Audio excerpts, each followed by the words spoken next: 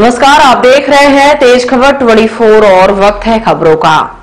रीवा ज़िले की गोविंदगढ़ पुलिस ने ऑनलाइन सट्टा खिलाने वाले एक युवक को गिरफ़्तार किया है। पुलिस ने कार्रवाई करते हुए खातों में जमा 50 लाख की रकम फ्रीज की है और 20 लाख की कार एवं मोबाइल जब्त कर एक आरोपी को गिरफ़्तार किया है, जबकि दो आरोपी फरार हो गए हैं।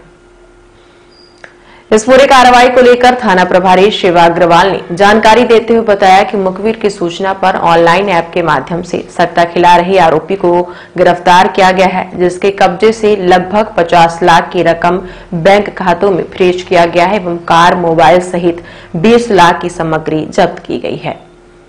थाना प्रभारी ने बताया कि मुखबिर ने सूचना दी कि अवनीश द्विवेदी एवं उसके दो साथी गोविंदगढ़ तालाब के पास आम के पेड़ के नीचे ऑनलाइन ऐप के माध्यम से सट्टा खिला रहे हैं। सूचना पर तत्काल कार्रवाई करते हुए दबिश दी गई तो घटनास्थल पर ऑनलाइन ऐप के माध्यम से सट्टा खिला रहे आरोपी अवनीश द्विवेदी, पिता नरेंद्र द्विवेदी निवासी ग्राम बासा को पकड़ा गया, जिसके मोबाइल में सट्टे का लंबा कारोबार मिला है।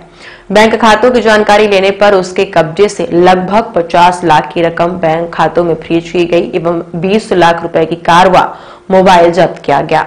कार्रवाई के दौरान मौके से दो आरोपी फरार हो गए। आरोपी के विरुद्ध मामला दर्ज कर पूछताछ की जा रही है।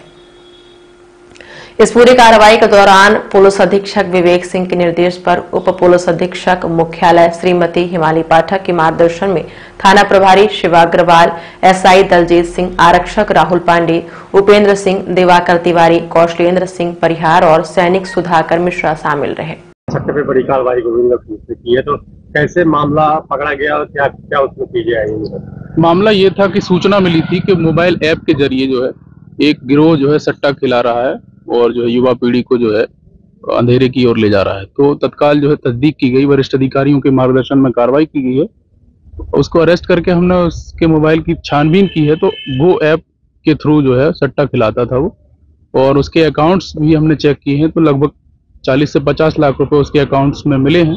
उनकी भी तस्दीक की जा रही है कि वो पैसा किस माध्यम से आया है। अगर वो पैसा अवैध तरीके से आया है तो संबंधित विभाग के लिए जो है लिखकर कार्रवाई की जाएगी। सर मोबाइल डिटेल में कुछ ऐसा मिला जिससे पता चला हो कि कितने लोग इससे जुड़े हुए थे? हाँ कई लोगों के नाम सामने आए हैं और वो जिस तरीके से जाँच आगे बढ़ती जाएगी उस तरीके से कार्रवाइयाँ भी बढ़ती जाएँगी। अभी कोई फरियादी भी इसके पकड़ने के बाद क्या सामने आया कि जिसके साथ ऐसी वारदात हुई है?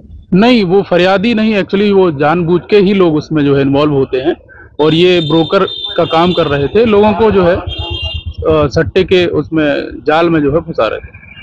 ये पैसा बढ़ाने के प्रलोभन ऐसा कुछ देते थे? क्या क्या इसके तरीका क्या था?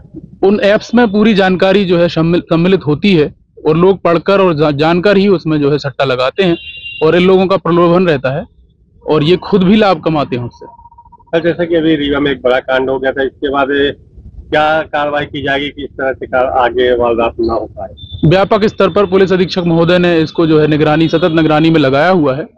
और इस तरीके के जितने भी लोग हैं, उन पर सतत निगरानी करके कर- लगातार कार्रवाइयाँ की जाएँगी।